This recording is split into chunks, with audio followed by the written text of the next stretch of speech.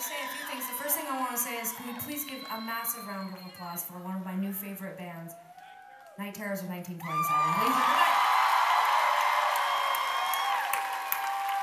I don't have a record out yet, but keep your eye out. It's so fantastic.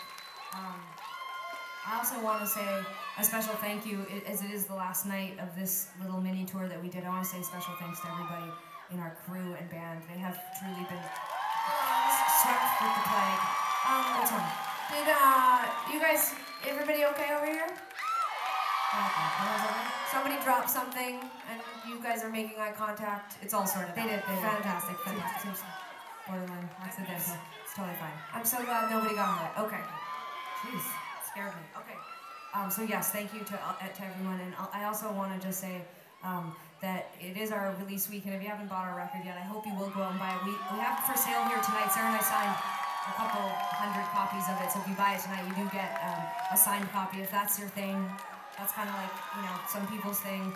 Ted, look, there's a sign that says Hi Ted. That's so popular in Los Angeles. It's so exciting. Okay. I'm getting distracted.